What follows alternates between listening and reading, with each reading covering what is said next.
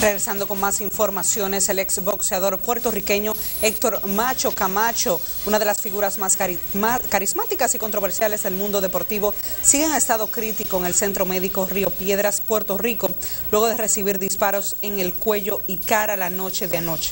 Macho Camacho, quien en los últimos años también se ha desempeñado en el mundo de la farándula y quien se ha visto envuelto en varios casos judiciales, fue herido de bala la noche del martes en un tiroteo de carro a carro. El año pasado Camacho fue tiroteado en un atraco, fue un intento de atraco para robarle su vehículo. El exboxeador boricua ha sido campeón en cuatro categorías distintas y es uno de los deportistas más admirados y queridos en Puerto Rico. El más reciente parte médico indica que la situación de Camacho es muy delicada y bueno, esperamos que se recupere este pintoresco deportista.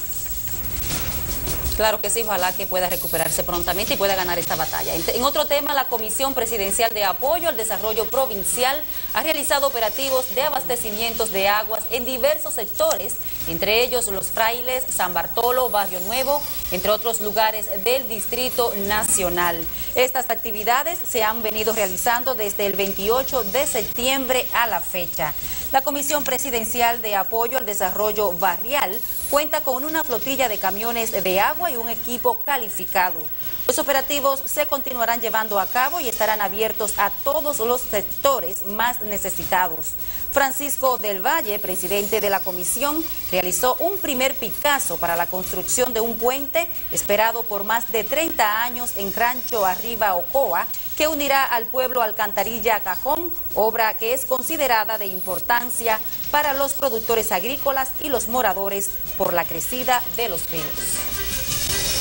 Bien, y de acuerdo al artículo 163 del reglamento de la Cámara Baja, los diputados que persistan en portar armas de fuego dentro del hemiciclo podrían ser destituidos luego de ser sometidos a juicio político, según expresó este miércoles el presidente de la Comisión de Disciplina, Henry Merán.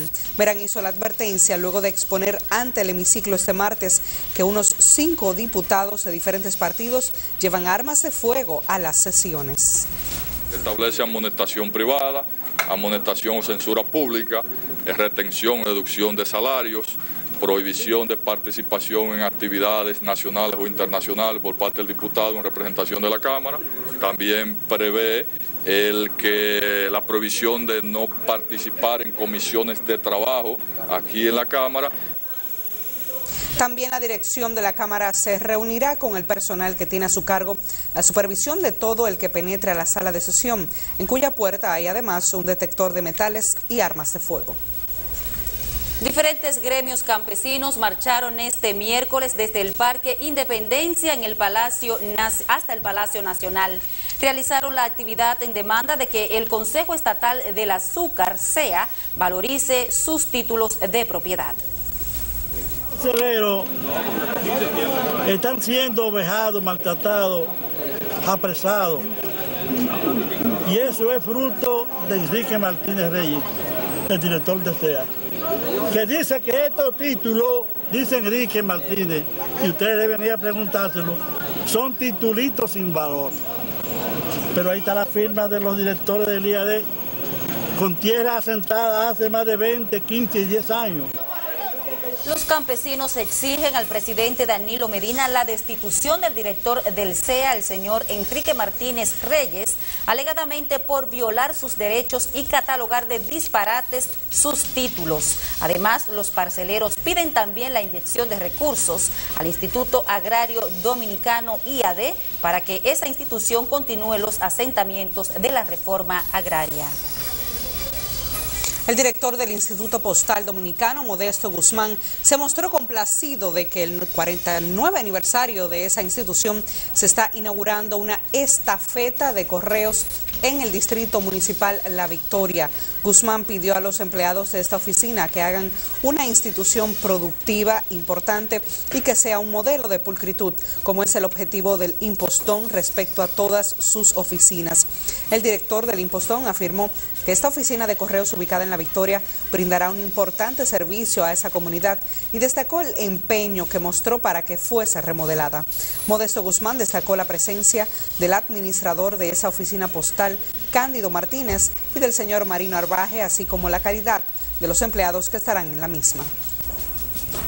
Y familiares de dos jóvenes detenidos en el Palacio de Justicia de Ciudad Nueva denuncian que la Dirección Nacional de Control de Drogas les puso narcóticos en los bolsillos a sus hijos, hoy acusados de narcotráfico.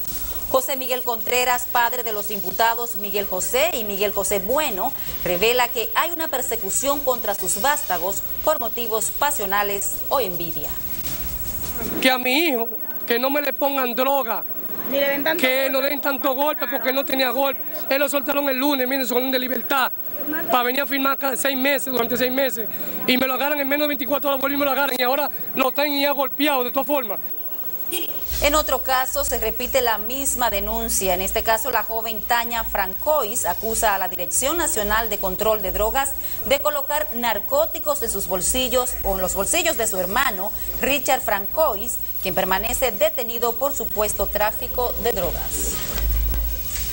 Bien, y según los economistas Manuel Linares y Carmen Luisa Santana, el alza que está experimentando el precio del dólar tendrá un impacto negativo en la economía, pues el mismo provocaría un proceso inflacionario que se traduce en un aumento generalizado de los precios.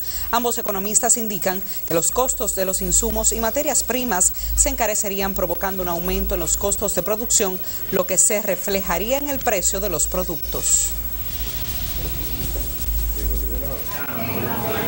Puesto que al subir el tipo de cambio, las materias primas e insumos productivos importados que utiliza la industria nacional eh, se, se verán encarecidos. todos los componentes de producción, materia prima, factura petrolera que está en todo, significa importación y eso es dólares.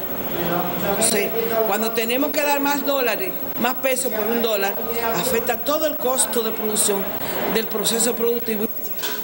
Los expertos en economía dicen que el alza en la tasa del dólar se debe básicamente al déficit fiscal por el que atraviesa el país y a las importaciones que regularmente se incrementan en esta época del año. El presidente Danilo Medina anunció su apoyo al turismo de cruceros durante una visita que hizo al buque Explorer of the Seas en Samaná.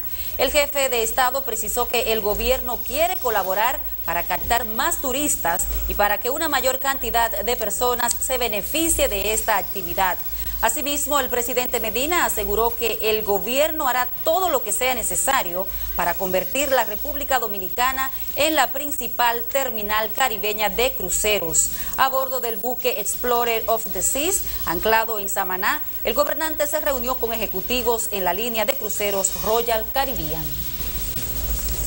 El embajador de Estados Unidos, Raúl Izaguirre, define el fin de la corrupción como el centro del bienestar de una nación.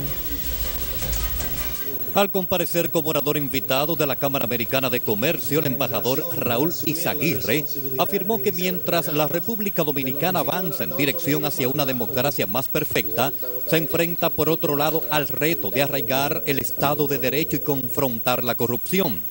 Ya no más ah, tapones, más polémicas, más estudios, más gritos, manifestaciones.